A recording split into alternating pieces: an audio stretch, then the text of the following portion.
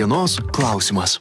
Suomija ir Švedija per iškilmingą ceremoniją dalyvaujant valstybių vadovams paskelbė kartu teiksiančios paraiškas stojimui į Šiaurės Atlanto sutarties organizaciją, kitaip dar sutrumpintai vadinama NATO. Putinas vakar sakė, kad tai nekelia grėsmės Rusijai, nors atsakas bus adekvatus. Na, o šiandien ryte 264 sužeisti Ukrainos kariai, kurie gynė Mariupolį, iš azovstal metalurgijos komplekso buvo išvežti autobusais į rusijos kontroliuojamas lnr luhansko liaudies respublikos miestą sužeistieji kaip suprantu penkiasdešim trys kariai ten sužeisti nuvežti na ir du šimtai vienuolika vėliau tikimasi bus pakeisti į rusijos karius kurie paimti į belaisvę į į nelaisvę ukrainiečių. Apie šeši šimtai karių įsitvirtinusių požeminiuose tuneliuose ir bunkeriuose tebesikauna neleisdami pajėgoms iš rusijos paskelbti visiškos pergalės strategiškai svarbiame uostamety uostamiestyje mariupolyje. Prezidentas volodimiras zelenskis sako kad didvyrių mums reikia gyvų ne mirusių apie visa tai e, kas vyksta azovstal e, metalurgijos komplekse apie e, kitus ukrainietiškus siužetus. Iš odesos alvydas medalinskas lrt bendradarbis ir politologas alvydai ačiū kad prisijungėt. Malonu. Laba diena na kadangi kiekvieną rytą perskaitau visą bryfą ukrainos situacijos ir odesa buvo buvo apšaudoma kaip suprantu iš to ką ryte skaičiau. Taip buvo. Tai jau kaip toks kaip girdėjosi jūsų ten bute. Al aliarmas aliarmas skambėjo. Mes čia turim mobiliuos telefonuose tose aliarmo programėlės e, tai skamba jos ir naktį ir dieną. A iš tikrųjų niekad nežinai ar tai bus rimtas apšaudymas ar tai bus arti tavęs ar tai toliau. A baisiausias matyt apšaudymas buvo gegužės aštuntą devintą dieną. Va ten tikrai septynios sparnuotos raketos viena greta kitos. A sprogimai girdėjos visai šalia ir staiga paskui paaiškėjo kad tai nebuvo visai šalia bet langai virpėjo ir atrodė kad vos ne kieme čia kažkas tai kokia raketa daužėsi arba bent jau netoliese.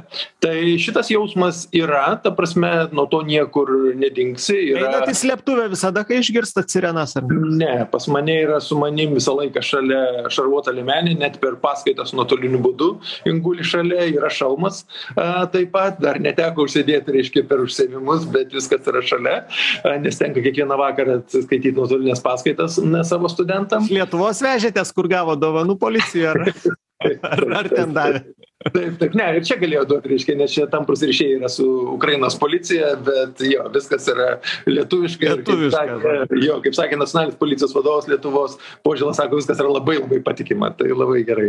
Supratau nu tai esat bent šia prasme kiek kiek saugesnis bet aišku ta odesos situacija jinai na neaišku į kurią pusę gali pasisukt matyt sunku ir prognozuot. Bet alvydai e, kodėl putinas nusprendė paleisti belaisvius sužeistus iš azovstalio kokio tai plano dalis gali būti? Kokia čia logika? Čia per derybinę prizmę reiktų vertint. Per ką visa tai vertint? Tai kad e, tie tie kariai nėra paleisti. Jie kaip tik yra paimti į nelaisvę. Nu Čia jie, man- čia e, tam čia mane prasme jie nelaisvėj bet jie iš azovstalio vežami ir suprantu ukrainiečiai sako bus išmainyti. Ir aš net keletą pranešimų skaičiau kad tai yra mainų proceso dalis gali būt taip aš irgi tą skaičiau a, dar ryte o štai dieną aš jau skaičiau valstybės dūmos reiškiasi svarstymus apie tai kad valstybė dūma gali norėt neleisti išmainyt šitų belaisvių. Taip pat girdėjau rusų reiškiasi komentatorių mintis kurios čia ir ukrainiečiai jau reiškiasi siunčia vienas kitam a apie tai kad reiškiasi džiaugiamasi kad paėmė į nelaisvę. A mačiau video kadrus kaip tas atrodo kai apieško jų kišenes ir vedasi į autobusą. Ir man kyla esminis klausimas ar tai yra evakuacija mhm. Ar tai yra nelaisvė, po kurios jie gali, gali būti apmainomi su Rusijos nelaisvė esančias dalykas. Jeigu tai yra evakuacija, kodėl jin vyksta pagal Putino taisyklės, o ne pagal taisyklės, kad tie kariai būtų vežami į Ukrainos kontroliuojamą teritoriją. Zaporožėje, reiškiasi, ligoninės yra daug geresnės negu Novazovskė jeigu mes kalbam apie tokius a, dalykus. A, reiškiasi, a, kokiam nors dar galima pasakyti kokią nors vietą, reiškia, Ugledarė, pavyzdžiui, ar Marinkoje, ar dar kur nors, reiškia, galima e, parvežti į Ukrainos teritoriją, Kramatorską. Galima bet aš suprantu ką sakot alvydai bet gal čia kažkoks va tarpinis sprendimas tų visų vis tiek kažkokios derybos vyksta aš įsivaizduoju gi kitaip. Žiūrėsime žiūrėsime. Iš tikrųjų labai norėčiau tikėtis kad tas dėmesys kuris sukilo a dėl azovstalio prives prie to kad ne tiktai šitie žmonės kurie dabar išvesti bet ir tie virš šešių šimtų reiškiasi kurie dar yra azovstaly ir su kuriais aš pats palaikau kontaktą a reiškia bus išvesti bet kad jie atsiras ukrainos teritorijoj o kad jie netaps kokiu nors žaisliuku putino žaidimuose tenai dūma vieną pareiškė ki jisai kitą gal pareikš ar dar kad nors viskas aišku ką valstybės tai dūma daro labai didelio aiškumo koks likimas tų karių sužeistų kurie buvo išvežti šįryt iš iš azovstalio bet ukraina sako kad šie kariai atliko milžinišką misiją neleido maždaug dvidešimčiai tūkstančių rusijos karių būti dislokuotų kitose fronto linijose ypač ar rytinėje ar net zaporižės miesto neužimti. E, na tai tam tikra prasme jų reikšmė buvino buvimo azovstaly buvo nepaprastai didelė. Reikšmė pirmiau ne tik simbolinė kad na vat vis tiek mariupolis bet ir karinė laikyti sutelktus maždaug dvidešim tūkstančių rusijos pajėgas ir neleisti jiem pajudėt niekur? Be jokios abejonės. Aš manau dar labiau iliustratyvus informacija yra ta iš karinio eksperto atėjusi. Čia yra ne mano mano tiktai galėjo būt spėjimas kad penkiasdešim procentų viso dabartinio karo sėkmės yra mariupolio gynyba oho. Tai jeigu iš tikrųjų yra taip tiek dėmesį rusijos išlaikyti taip kad kad karinės jėgos rusijos atakuotų atakuotų atakuotų atakuotų ir iš tikrųjų negalėtų vykdyti karinių veiksmų kitoj teritorijoj. Nu tai tada aiškus tampa kad tai yra jau nebe tiktai simbolis. A o jeigu simbolis be abejonės mes dar pridursim tai kad putinas vis negalėjo pareikšti jokios pergalės gegužės devintą dieną. Jis iki šiol negali pareikšti kad yra koridorius reiškia a jungiantis krymą a reiškiasi su tom vadinamom donecko liaudies respubliko iki tol kol yra ginamasi a mariupoly nes net šeši šimtai su viršum karin e a karių azovstaly tai dar ir karinė jėga. Pavyzdžiui jeigu būtų variantas kaip jiem pateikti ginkluotę mediciną maistą ir vandenį a tai jie ir toliau dar galimai stovėtų. Dabar tiesiog yra kritiška situacija. Ir aš nelabai suprantu kodėl a šitoj evakuacijoj a dalyvavo tik raudonas kryžius reiškiasi ir jungtinės tautos kodėl pavyzdžiui štai aš esu su marškinėliais reiškiasi kurį man padovanojo praeitą savaitę nacionalinės policijos reiškias vadovas ukrainos. A čia su tokiais marškinėliais ukrainos policininkai išvežinėjo čia kaip skiriamas ženklas a reiškiasi tuose humanitariniuose koridoriuose kur tarptautiniai humanitariniai koridoriai a neveikia. Tai jeigu ne ukrainos policininkai tai kodėl ne trečiosios šalies reiškiasi policininkai a kokios nors šveicarijos turkijos ar dar kas nors? E ta prasme atsakymų iki šiol nėra. Aš manau kad iš tikrųjų mes juos turėsime gauti.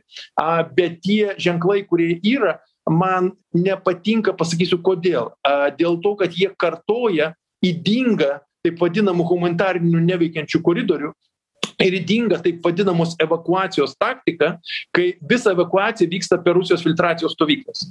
Tai kokia tada tai yra evakuacija? Mano draugų yra tarp tų šimto penkiasdešimties tūkstančių mariupoly esančių žmonių kurie šiandien neturi teisės išeiti į gatvę.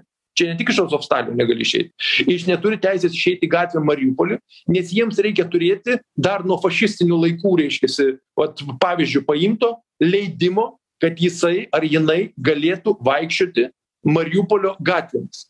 O tą leidimą jis jis ar ji gali gauti tik prisidavęs a į filtracijos stovyklą pirmam etape patikrinama vadinama pradinė patikrinimas jeigu jiem sukyla klausimų patikra gal pasakojo žmonės aš esu skaitęs ten apie visokius bet tai va būtent pasakojo tai taip tai pirmas dalykas reiškias vyksta ta pradinė pat patikra nu ten žiūri ar nebuvo automato a žiūri reiškiasi e, tas e, tu tatuiruotes šeimų kažkokių taip. Taip žiūri tai ką žiūrėdavo blokpostuose tas anas paviršutinis tas. Bet jeigu jiems sukyla klausimus tai dabar jie turi galimybę ir jie tą daro.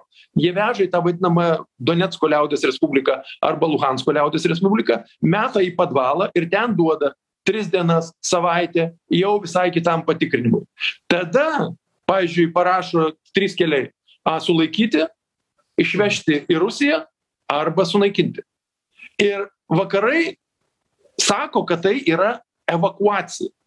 Taip daliai žmonių tai yra evakuacija kurie nieko bendro neturėjo su valstybės tarnybom kurie nebuvo labai aktyvūs kokiuose socialiniuose tinkluose ar kurie kažkaip nuslėpė tą informaciją kurie nebuvo a šitam ato reiškias nebuvo a negynė ukrainos per tą a laikotarpį. A nu kaip nors neužkliuvo vienu ar kitu klausimu. Tai taip ten vyresnio amžiaus žmonės reiškiasi jaunesni žmonės vaikai jiems yra leidžiama visa kita bet visa evakuacija vyksta per rusijos kontroliuojamas filtracijos stovyklas ne per tarptautinės bendruomenės kontroliuojamas.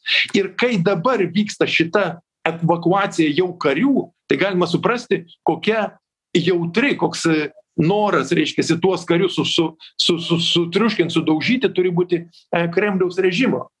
Ir vėlgi yra pasitikėta tiktai ar putino nu galbūt dar kažkokių kitų partnerių žodžiu. Nu labai norėčiau tikėtis kad tas žodis veikia bet sakau kol kas viskas man atrodo labiau nelaisvė negu evakuacija. Nu pamatysim per artimiausias dienas o gal net artimiausias valandas kas bus su tais e, paimtais iš e, mariupolio sužeistaisiais bet e, štai mano akis užkliuvo šiandien už wall street journal skaityto teksto apie tai kad jungtinės tautos jungtinių tautų vadovas kiek suprantu guterešas asmeniškai derasi už tai kad iš ukrainos uostų leistų žirnius išvežti ir ne tik žirnių matyt ten ten daug visko prisikaupę kad taip pat blokuotų sakykim tuos uostus maisto išvežimui mainais į kalio eksportą iš rusijos ir baltarusijos ir jų grįžimą į pasaulio rinkas. Jeigu aš tiksliai supratau tą mainų aišku niekas ten nepatvirtina ne žurnalistai nepakalbina autentiškų šaltinių bet na lyg ir toks įspūdis kad vyksta derybos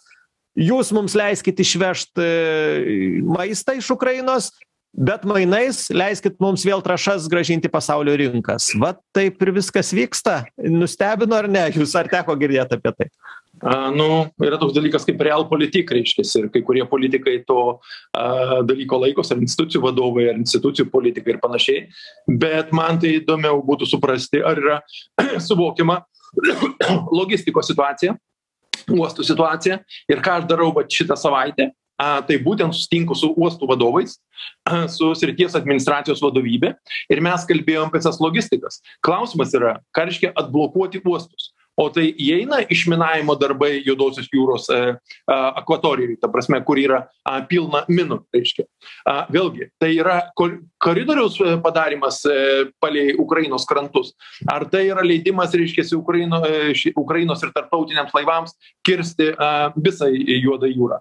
Ką reiškia visi šitos kovos nu, aplink čia praktiniai dalykai bet skaitau europos komisijos vat viceprezidentą žozepą borelį atsakingą už užsienio politiką jis tą patį sako mes pa pa pagelbėsim ukrainai eksportuoti žirnius kur užblokuota yra uostuose. Kaip jie tą padarys aš nežinau bet borelis sako kad mes padėsim tai pirma būtent reikia pamąstyti apie kelius kurie gali būti o kitas dalykas reiškia kažką siūlyti. A iš tikro vakar buvau labai nustebęs susitikęs su srities administracijos vadovybės žmonėm kai sužinojau kad vakaruose yra neteisinga informacija pavyzdžiui kiek užblokuota grūdų yra ukrainos trijuose uostuose reiškiasi. Ir ta informacija kardinaliai skiriasi. Tai šia prasme iš tikro kol kas dar viskas diskusijos vyksta dar politinių deklaracijų lygyje bet akivaizdus yra dalykas ir aš manau kad tas yra tikrai labai svarbu akcentuoti kad vakarai jau suvokė kai kuriuos dalykus kurie gali būti vėlgi naudingi ir ukrainai ir bendrai saugumo situacijai. A tai nes per ukrainos šituos tris uostus juodosios jūros vyksta septyniasdešim procentų viso ukrainos eksporto. Tą galima suvokt koks tai yra smūgis dabar kai tie uostai yra uždaryti? Tai jeigu bus atrasti kokie nors keliai reiškiasi atblokavimui tai bus labai gerai. O ar rusijai bus daromos nuolaidos tai tai būtų labai negatyvus juodas ženklas šitai sakyčiau vis labiau tokiai principingesnei vakarų pozicijai kalbant apie rusiją a sankcijas ir a reiškiasi a kitus dalykus. Jūs nemanot kad čia bus tas barteris gali būt padarytas mes išleidžiam žirnius ir grūdus o jūs štai kalį mūsų vėl vežt aš negaliu ne aš negaliu atmesti tokio dalyko kad per kai kurias a produkcijos reiškia rūšis barteris gali būt padarytas priminsiu tiesiog žinoma gal atvejai gal mažiau užmiršta su aliuminiu buvo vakarai ir ta pati amerika priėmus sprendimą dėl aliuminio reiškiasi sankcijų aliuminiui ir staiga pažiūrėjo kad be deripaskos aliuminio a sunkiai gali išgyventi a patys amerikoj. Ir tada buvo padarytos reiškiasi nuolaidos išimta reiškiasi aliuminio klausimai iš šito sankcijų sąrašo.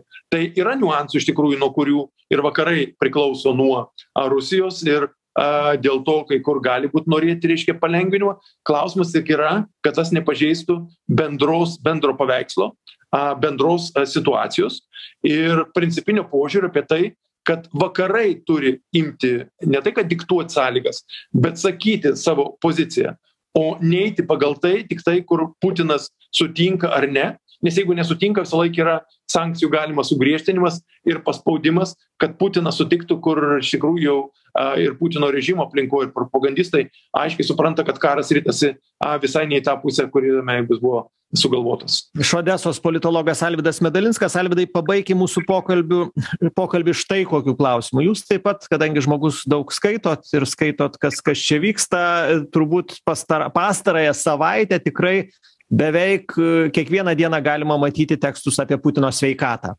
Šiandien štai italų dienraštis la stampa skelbia kad chirurginė intervencija putinui buvo naktį atlikta priežastis onkologinė liga operacija atlikta naktį siekiant maksimalaus kof konfidencialumo na ir net čia kalbama apie tai kad tam tikram laikotarpiui surastas ir dubleris kuris viešumoj gal pašmėžuos ir sukurs įspūdį kad va vadas niekur nedingęs bet na vis tiek ir yra man atrodo prieš kelias dienas teko skaityt kažkas iš artimų oligarchų prasitaręs kad putinas turi rimtų sveikatos bėdų ten ar kraujo vėžys ar kas ir ir ir čia jau dar gegužės devintosios tas paradas dažnai prisimenamas ten su su ta antklode sėdėjo. Žodžiu ir ten min ministro šoigu tas susitikimas ir ir ir ir visokios ten mikromimikos. Bet iš esmės na man visąlaik tas klausimas kyla ar tai nėra kažkokio informacinio karo dalis ir ar tai yra ar ar putinas realiai serga ar tai galbūt toks vat sukurtas įspūdis nežinau kažkokių politinių toli siekiančių toliau siekiančių tikslų siekiant. Vat koks jūsų įspūdis? Putinas realiai serga kad putinas vienas dalykas aš ne gydytojas a politologas kitas dalykas manau kad ką mes kiekvienas galim pasakyti pažvelgę į putiną ir palyginę keletą jo nuotraukų ar keletą video vaizdų reiškiasi anksčiau ir dabar kad tikrai putinas turi rimtų sveikatos problemų. Ar tos sveikatos problemos yra tokios bet žinot vienam susitikime galbūt vienos at kitas ten eina kokiam kolektyvinio saugumo organizacijoj nu kaip ridikėlis ir nežinai reiškias čia yra problemų ar nėra taip ar tos problemos yra tokios mirtinai pavojingos sveikatai ar tai yra tokios problemos kurios gali būti a gydomos ligoninėse? Čia yra antras klausimas. Aš tik norėčiau pasakyti kad aišku svarbu a nenukreipti viso dėmesio į tas sveikatos problemas taip valdžios e buvimas perėmimas ar kas e turės valdžią kai putinas atsiguls po skalpeliu jeigu toks dalykas atsitiks klausimas yra labai svarbus. Aš tik galiu pasakyt savo viltį ką aš labai norėčiau matyt aš norėčiau kad putinas dagyventų iki hagos teismo va čia tikrai labai labai norėčiau ta prasme ir lavrovas ir šoigu ir visi kiti kad jie dagyventų iki hagos teismo. Tai čia yra toks nu labai nuoširdus kokių sąlygų tam reikia? Tam reikia kad rusija taptų kitokia ar ar reiktų kažko kito? Tokios sąlygos jau vyksta. A iš principo putino pasakymas nuo ko prasidėjo laida apie suomiją rodo visišką jo bejėgiškumą procesų vykstančių aplink atžvilgiu taip jis gali grėsmės nekelia. Suomijos ir švedijos narystė nato. Vat štai pozicija. Taip iš tikrųjų suomija kuri įeina reiškiasi reiškias vienas tūkstantis trys šimtai kilometrų sienos fizinės teritorinės sienos. vienas dalykas o kitas dalykas estija kuri reiškias yra prie peterburgo reiškiasi kelia grėsmę estijos narystė nato o suomijos su daug galingesne karine pajėgom ir su tokia ilga siena a nekelia. Akivaizdu kad putinas neturi ką pasakyt ir čia tas. Ir tada taip kyla klausimas tas pats paskutinis ar putinas iš to bejėgiškumo iš tos desperacijos gali griebtis branduolinio ginklo. Ar taktinio ar strateginio ar dar ko nors a ypatingai apie branduolinį taktinį smūgį. A čia negalim atmest tokio dalyko bet vėlgi vakarai negali eit už pavadėlio nes putinas gali pradėt tada vėl pasijausti stiprus ir pradėt grasint akivaizdu kad nu ne tik putinas yra rusijoj yra ir kiti žmonės kurie turėtų pritart tokiam net jeigu diktatorius panorėtų nuspausti kokį taktinio branduolinio ginklo mygtuką. Bet šia prasme visiškai akivaizdu ir pažiūrėkim į propagandistų tas kalbas a kurios yra jeigu mes matom internete ar dar kas nors yra tikrai didžiulis pasimetimas nuo tos ukrainos pergalės nuo tų nu ne pergalės nuo tų ukrainos pasiekimų karo lauke nuo to vakarų atsibudimo a ir stiprėjimo nuo dabar švedijos e suomijos a būsimos e narystės nato a ir kitų reiškiasi dalykų ir čia tikrai būtent toj situacijoj aš vėlgi grįžtu prie klausimo. Aš nesuprantu tarptautinės bendruomenės iki šiol leidžiančios evakuaciją pagal rusijos reiškiasi na daugmaž pasiūlymus. Na gal kito pasiūlymo nepriėmė žinot čia taip turbūt. Tai vėlgi kalbu reiškiasi situacija keičiasi. Tai tą dalyką buvo galima daryti per prieš mėnesį ar prieš du dabar situacija yra daug palankesnė spausti. Ir iš tikro ta pati turkija ir kinija kalbėtis intensyviai ne tiek su rusija kiek su turkija kinija a kitomis šalimis. Ir iš tikro daryti tuos veiksmus tokius bent jau kad kaip sirijoj buvo kur turkija įsikišo ir tos evakuacijos iš tokių visiškai laukinėm sąlygom kur žmonės būdavo naikinami žūna ir panašiai tapo daugiau mažiau reguliuojamos ir į turkijos kontroliuojamą a teritorijos pusę o ne į asado kontroliuojamą pusę tai čia šiuo atveju irgi a ukrainoj tą reikėtų laikyti kaip uždavinį numeris vienas.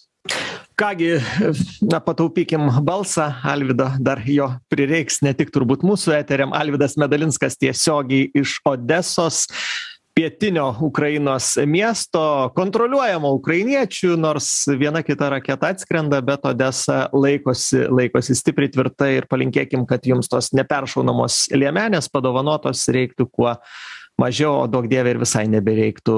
Ką gi dėkui kad klausotės žinių radijo. Kiekvieną darbo dieną tryliktą penkios aptariam. Na apie kainas šnekėjom ir apie karą. Turbūt daugiau nei pusė mūsų laidų šitom dviem temom ir paskirtos na toks gyvenimas. Iki kitų susitikimų.